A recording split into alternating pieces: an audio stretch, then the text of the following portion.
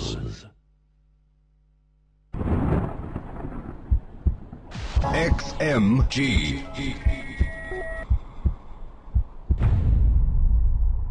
TLO is HuK, by the way. Oh yeah, we are ready. Yep. Stephano was the, the pink Power Ranger.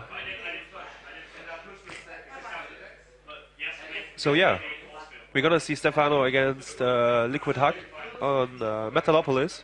Uh, I'm really looking forward to this best as well. There we do see uh, Dignitas' very own Naniwa. I'm not sure if he's playing for Rio already or not. I think he only There's plays. Stephano as well. So Yeah, but Na- in the middle. Naniwa plays later today. yeah, I like Naniwa, man. I really like the Dignitas hoodies, hoodies by the way. Yes, Like mad props they're to Dig- yeah. mad props to Dignitas for designing those hoodies.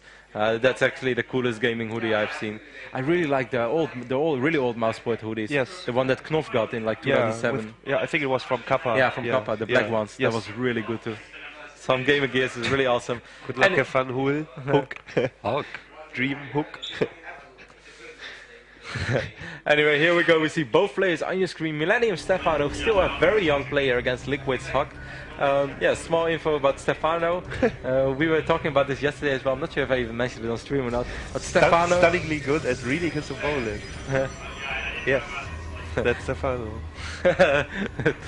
Oh, I Are you suggesting, suggesting something? no, I played him offline as well. He's uh, he's really really strong. Yeah, I, met him in France at the Desmedion Trophy in the final. I know that. So here we go with the first. Uh, what's the? No, these are not the same group, right? This is the first game of their group. Yeah, Yes. because this is the group of Naruto and Insolence as well. So first game of these two guys on the Home Story Cup 3, second day here in Krefeld. And yeah, interesting side note by Stephano is that Stephano apparently never ever ever reads any uh, community sites, gaming websites whatsoever. He doesn't. No, he doesn't watch streams. He never watched anything, and that's funny because he was a Warcraft 3 pro gamer as well. Yes. And he used to be like a practice partner of Grubby, right? Yes, So yes. Um, during some LAN, I'm not sure which one it was. Uh, Grubby for the first time met Stephano, which was like two months ago. Yeah. And Grubby went to him. He's like, "Hey, man." And then Stephano said like, "Hey, who are you?" to Grubby. and Grubby's like, "It's me, Grubby." And Stephano, "Oh." And then Grubby's like, Nice to meet you. How can you not know? and then Stephano explained that uh, yeah, he has a different life outside of pro gaming. He said, and yeah, he doesn't waste. He said, I don't waste my time browsing around the internet and reading about stuff or reading about people's life. Uh, you can actually train much more efficiently if you spend like a couple of hours surfing and, and look, uh, watching streams. I guess you don't, can't really get that much training done if you want to do other stuff as well. Yeah, I heard his. He's kind of busy with his studies as well. Yeah, I think Stephano, he's I think he, he wasn't that good like three or four months ago, but, but he really improved now. I don't know what he's studying. Uh, he's quite young to study, no? Don't you think he's still in high school? He I, looks I think that he studies, but I'm not sure actually. Maybe we should ask the French guys later. And yeah, he's setting up his hotkeys right now because it, it's still no wait. Never mind. I thought it's TLO's account, so HuK has to change his hotkeys, but apparently it's Stephano who. Yeah. I think Stephano still doesn't have that much LAN experience either because he's still using a PS2 keyboard. And then he showed up here and he was surprised that his PS2 keyboard uh, he couldn't plug it in in a laptop. Like, well, that's something that's gonna happen more But I think right? it happened to Xlot as well, like uh, lately at some EPS event. Ah, he's using Black Widow now, so I doubt Yeah, he that. changed it. yeah, it's about time, man. Yeah, it's about time. Yes. Hello, Dario. Uh, we are excellent, Dario. Definitely gonna have some TLO casting later today as well for all fans out there. We see HuK right now using your account, which uh, you used to uh, boost Hug your account a little bit. he doesn't find game on, games on this account anymore because his MMR was too high. Yeah. So he searches for six hours but doesn't get a game. so TLO is explaining right now why HuK doesn't uh, play in Europe anymore on his own account. If HuK plays on his own account, he's not able to find a game. So-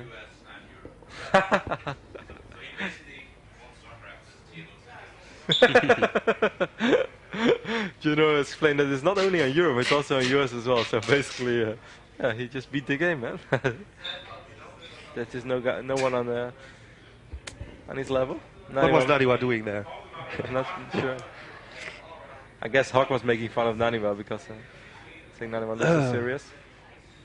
We see, of course, Tyler in the back as well from Team Liquid. Yeah. HuK is trolling Naniwa a little bit in the chat right now. Naniwa looks so serious.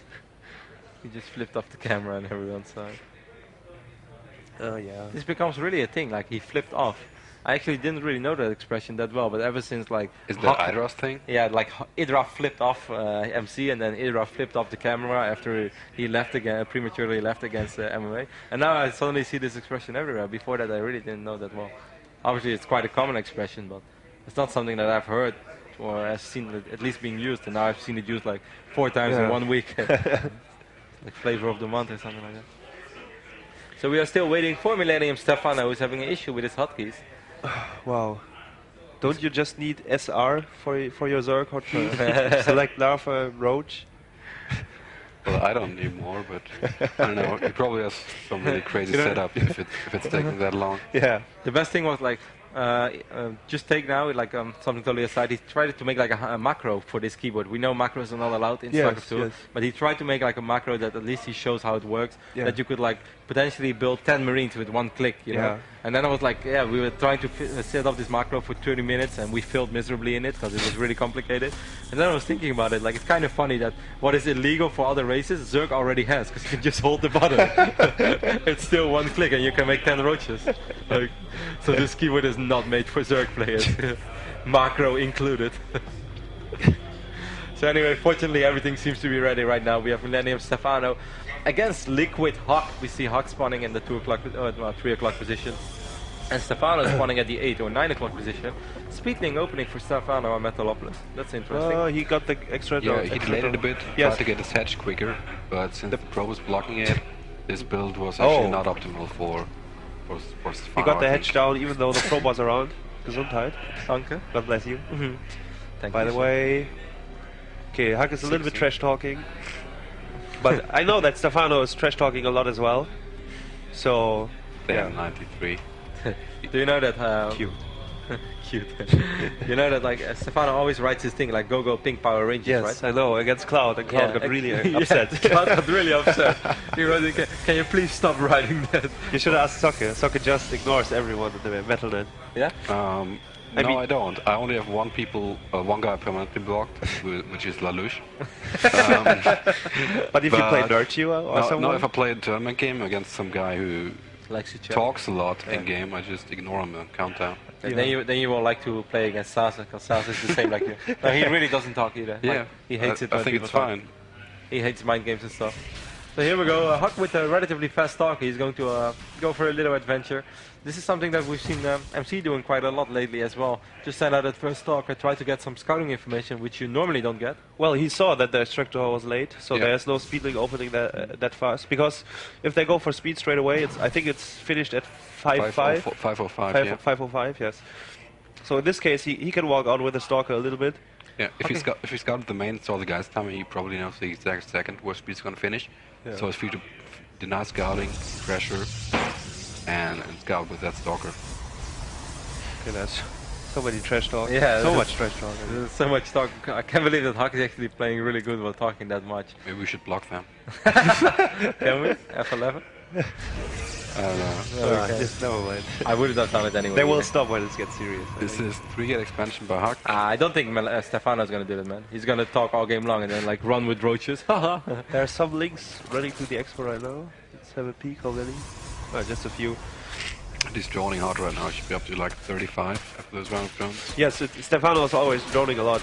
He's a very, very macro-oriented uh, player. Sometimes he's doing all-in, but that's very rarely. Um, especially, I think he will take the third very quickly. Is there already a drone moving? I Yeah, yes, it is. wow. Got minerals. Yeah, I played him Roachwarren. so often lately, and I know his, his style kind of well, and I know that he's extremely strong in the late game. Yeah, he, he uh, controls his units so well. and he has an excellent timing, I think, on the Infestors and Broodlords as combination together. yes. yes. And he, it's like uh, what Hepro did, making ultras. Actually, Stephano just keeps making roaches, and it's just so hard Yes. to fight because you can't blink. I mean, if you blink into roaches, I mean, if you blink away from roaches, you die already. But imagine you blink in there. That's a 5-gate HuK push. is getting five gates, and I think that's really effective against Stephano because he loves to drone. Yeah, well, he needs to stop droning in, in like 10 to 20 seconds to be able Yeah. to control that push. He's gonna get speed for roaches, I guess. He doesn't have any units right now besides Ooh. those Yeah, he, few he, links. he needs to start building roaches right now. Lynx is still uh, getting a nice sneak peek at the expand, and he did see the amount of sentries, though, so perhaps he should trigger a reaction at Stephano. That's Wow, exactly seven what's roaches. happening. Oh, really nice read. I mean, he got the roaches before the Protoss units were at, at the Xelnaga tower. He Now he definitely knows that there's something coming. he also scouted no quick third and fourth gas, so Yes. it's uh, no small tail Yeah, that's, that's true. And I guess it's gonna get speed for roaches, and then just power units.